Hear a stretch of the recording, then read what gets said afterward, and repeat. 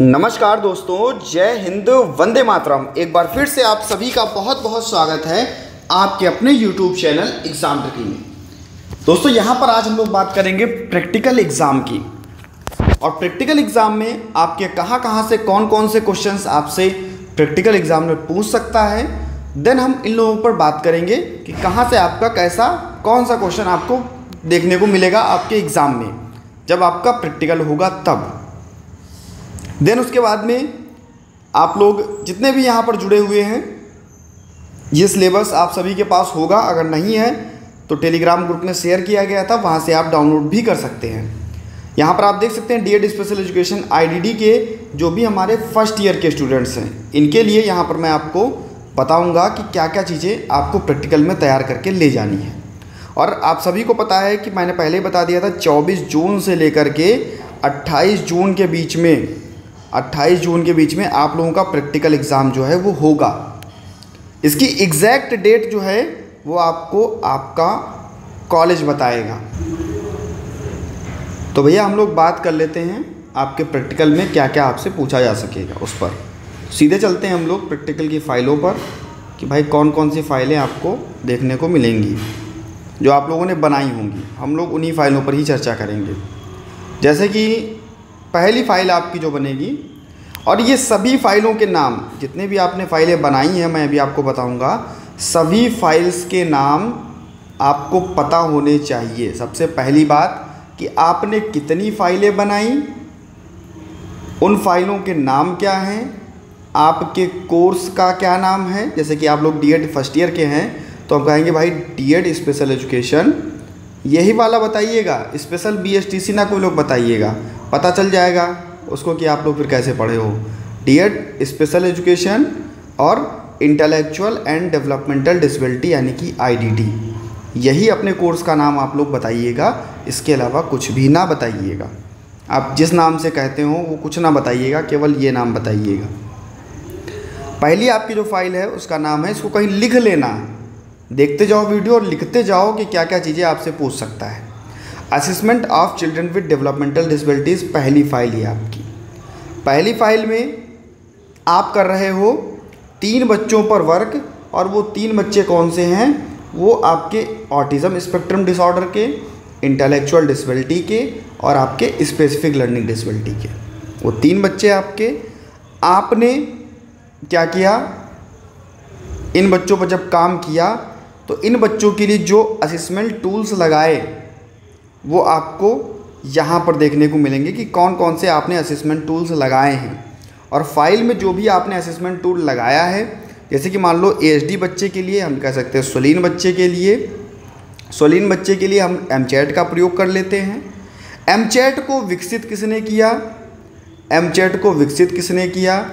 कब विकसित किया गया? इसका पूरा नाम क्या है? इसको तैयार कर लेना ऐसे ही अपना एम्स मॉडिफाइड, ये भी आपके एच बच्चों के लिए, जितने भी ये टूल्स आपके इतने दिए गए हैं। एम्स आपका हो गया, आपका ईशा हो गया, किसने विकसित किया और कब विकसित किया गया और भैया इसका पूरा नाम क्या है? कार्स टू हो गया, किसने विकसित किया, कब विकसित किया और ये पूरा नाम। तो ये किन बच्चों के लिए? ए बच्चों के लिए। तो क्वेश्चन यहाँ से भी कह देगा, भाई ए बच्चों के लिए जब आप असेसमेंट करते हो देन आप कौन सा टूल यूज़ करते हो। तो आप एम चैट भी बता सकते हो, ईशा भी बता सकते हो AIIMS modified I N D T H D भी बता सकते हो।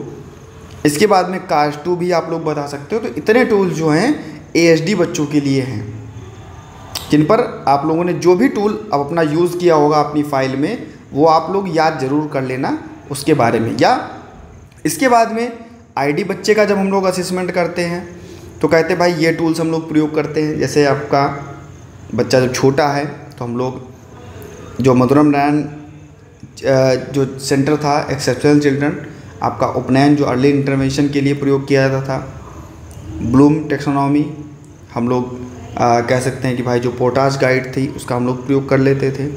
हम लोग एफएससीपी का प्रयोग कर लेते थे। हम लोग आ, इसके बाद में अपना जो behavioural assessment skill for Indian children with mental retardation जिसको हम लोग बेसिक एम के नाम से जानते थे, रीता पेशा, वरिया और वेंकटेशन जी। ये नाम भी साफ़ साफ़ दिए हैं किसने किसने विकसित किया है। सब नाम बहुत ही अच्छी तरीके से दिए हैं कि भाई एमडीपीएस किसने विकसित किया, देन आप यहाँ पर बताओगे। पी बिमला जी ने और और आपका जयचंद्रन जी ने। तो सबके नाम भी दिए हैं। मैं इसको इरेज कर दे रहा हूँ उसका आप स्क्रीनशॉट ले लीजिएगा। जिससे आपको ये पता हो जाएगा कि भाई किसने कब बनाया और ये स्क्रीनशॉट तुरंत ले लीजिए। अगर आपके पास पीडीएफ नहीं है देन आप ये स्क्रीनशॉट ले लीजिए।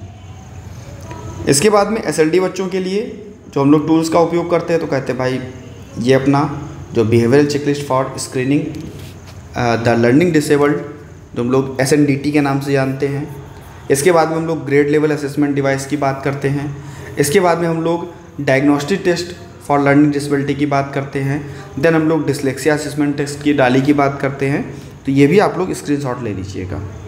ये आपका क्या था? जो आप लोगों ने फ़र्स्ट अपना आ, फ़ाइल बनाई थी उसका सब डिटेल था ये।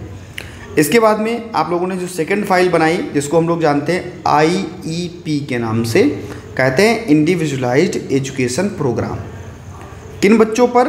वही तीन अपने बच्चे ये तीन बच्चे आपको फ़र्स्ट ईयर में यही तीन बच्चे आपको ध्यान में रखने हैं। ठीक है? तो हमने ऑटिज़म बच्चा, बौद्धिक अक्षम बच्चा और अधिगम अक्षमता वाला बच्चा। तो हम इन पर जो आईपी हम लोगों ने बनाई थी, उसमें हमने कितने सेशंस लिए, आपको के सर तीस सेशंस लिए, तीस सेशन की बात होती है, प्रत्येक बच्चे पर हमने आईपी बनाई। तीन यहाँ पर हमने आईपी का चीज़ों का प्रयोग किया एएसडी बच्चे की आईडी बच्चे की, सभी के जो हमने गोल्स लिए लेवल का असेसमेंट हम लोगों ने किया। तो इतना हम लोगों को ध्यान रखना था। यहाँ पर हमने कौन कौन से टूल्स लगाए, चाहे वो अपना असेसमेंट टूल्स के बारे में आपसे पूछे तो जितने भी अभी असेसमेंट टूल्स मैं आपको बता चुका हूँ तो वो सारे असेसमेंट टूल्स आपने यहाँ पर भी लगाए होंगे। जैसे ये आप लोगों ने लगाया, इसके बाद में आईपी क्या होती है, आप लोगों ने फ़र्स्ट ईयर में अब पेपर दे, आप लोग दे चुके हो तो आईपी क्या है, किस लिए निर्माण की जाती है तो ये सब चीज़ें थोड़ा पढ़ के जाइएगा अच्छे से, क्योंकि आप लोग अब पेपर दे चुके हो। पेपर दे चुके हो, यानी कि आपकी तैयारी अब पहले से है। अब ये नहीं होगा कि सर अभी पेपर देंगे तो हमको अब तैयार कर लेंगे। अब आप पेपर दे के आए हो तो देन आपको वो चीज़ें भी तैयार होनी चाहिए।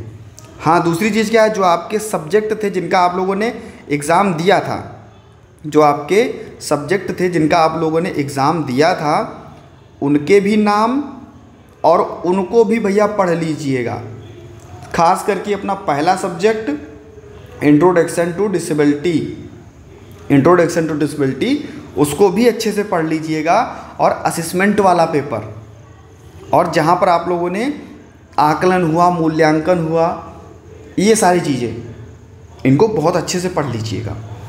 Preparation of T L M for assessment and teaching information and communication technology यानी कि टी एल एम की बात करता है और आई सी टी की बात करता है। तो ये आप लोगों ने तीसरी अपनी फ़ाइल बनाई। तीसरी फ़ाइल जो बनाई टी एल एम के यूज़ के बारे में बताया आपने आई सी टी के यूज़ के बारे में बताया। किस प्रकार से आप जब बच्चे को पढ़ाओगे ट्रेनिंग दोगे, तब आप कैसे असिस्टिव डिवाइसेस उपयोग करोगे, कैसे आप एक्टिविटीज़ कराओगे कौन कौन से एक्टिविटीज़ कराओगे क्या क्या करवाओगे, वो सारी चीज़ें आपको यहाँ पर जो है बतानी होंगी। जो आप लोगों ने फ़ाइल में अपनी लिख रखी है, पहले से ही लिख रखा है। इसके बाद में आपने ग्रुप टीचिंग कराई, यानी कि लेसन प्लान बनाए होंगे। लेसन प्लान में भाई सबसे ज़रूरी कुछ चीज़ें, भैया प्रॉम प्रॉम्प्टिंग क्या है? या हम कहेंगे टास्क एनालिसिस क्या है? प्रॉम्प्टिंग क्या है या टास्क टास्क एनालिसिस क्या है? या हम कहेंगे सर चेनिंग क्या है? या हम कहेंगे सेपिंग क्या है? और हम कहेंगे भाई पुनर्बलन क्या है? पुनर्बलन क्या है? आपने किन किन पुनर्बलन का यूज़ किया? बच्चे पर आपने को करिकुलर एक्टिविटीज़ कितनी की, आपने करिकुलर एक्टिविटीज़ कितनी की तो ये सारी चीज़ें आपको पता होना चाहिए जो जो आपने फ़ाइल में लिख रखा है। कितने आपने लेसन प्लान किए तो आपको हो सर 24 लेसन प्लान किए, किन बच्चों पर किए, आपको हो सर ये तीन प्रकार के ही बच्चे हमको दिए गए थे, जिनमें हमने पढ़ाने के लिए उनका टी का भी उपयोग किया आईसीटी का भी उपयोग किया। तो ये सारी चीज़ें आपने जितना जितना भी फ़ाइल में लिख रखा है, जितना जितना आपने फ़ाइल में लिख करके रखा है वो सारी चीज़ें आपको पता होनी चाहिए विद आपके, कह सकते हैं कि भाई जितने आपने अभी तक पेपर्स दिए हैं, उनके बारे में भी आपको पता होना चाहिए। अब देख सकते हैं लर्निंग डिसबिलिटी के बारे में भी यहाँ पर सारी चीज़ें दी गई फंक्शनल एकेडमिक के बारे में भी दी गई, जो आपका, इसके बाद में आपका चौथी फ़ाइल जो आप लोग group teaching resource room setting A H D I D S L D तो यहाँ पर भी आप लोगों ने क्या क्या किया इसमें पाँच स्टूडेंट्स पर आप लोगों ने जब स्पेसिफिक काम किया, चौबीस लेसन प्लान्स यहाँ पर बनाए, और भैया वही आपके आठ आठ लेसन प्लान आठ आपके बनाए एएसडी के लिए, आठ आपके बने एस के लिए, और हम कह सकते हैं आईडी के लिए हमने नौ बना लिए। नौ दूनी अठारह, और हमारा अठारह, और नौ अपना हो जाएगा। आठ हो जाएँगे, आठ आठ चौबीस हाँ आठ चौबीस, तीन आपका हो जाएगा तो आपका पच्चीस हो जाएगा पूरा। ठीक है? आठ आठ आप कर लोगे और एक का आप ज़्यादा कर लोगे, एक नौ बना दोगे तो देन आपका कंप्लीट हो जाएगा। ठीक है? तो ये आपने चौबीस लेसन प्लान्स बनाए तो आप किसी का भी, जिसका आपने एक एक्स्ट्रा बना के रखा है, वो आप बता सकते हो। हाँ आपसे एग्ज़ामिनर वहाँ पर भैया जो है लेसन प्लान को प्रेजेंट भी करवा सकता है। कहेगा, भाई, एक लेसन प्लान आप खुद से तैयार करके लाओ और उसको क्या है, बच्चों के सामने प्रेजेंट करो। तो ये भी आपसे करवा सकता है। कि भाई आप कैसे पढ़ाते थे? कैसे आप बच्चे को सिखाते थे? किन किन टीलेम का यूज़ करते थे? कहाँ पर आप लोगों ने पुनर्वलन बच्चे को दिया? कहाँ पर आपने प्रॉम्प्टिंग बच्चे को दी? तो ये सारी चीज़ें जो हैं आप लोग क्या क्या करते थे? देन आपको पता होना चाहिए। तो हम लोगों ने इतना इस पर बात कर लिया। देन अपना हमारी जो ये तीसरी यानी कि पाँचवीं छठी फ़ाइल हो गई हमारी ये। तो अभी तक हमने चार आ, हाँ तीन एक चार पाँच छः हाँ छः फाइलें पे हम लोगों ने बात कर ली। सॉरी छः छठी फ़ाइल ये है आपकी।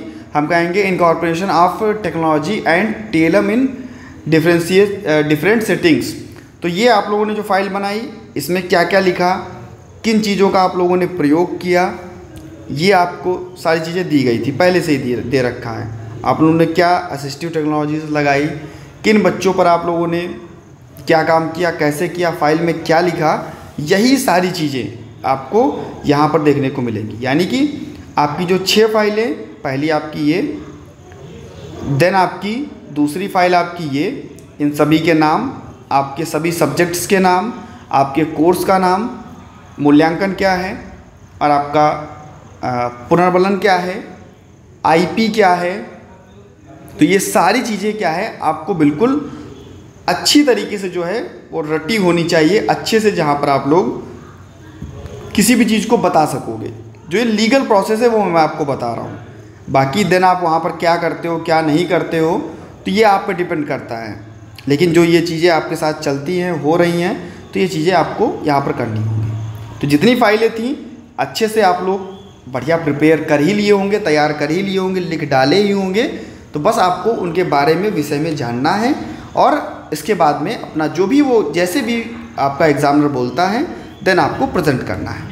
तो भैया, मिलता हूँ नेक्स्ट वीडियो में। आप सभी एक बार वीडियो को सभी मित्रों तक शेयर कर दीजिएगा।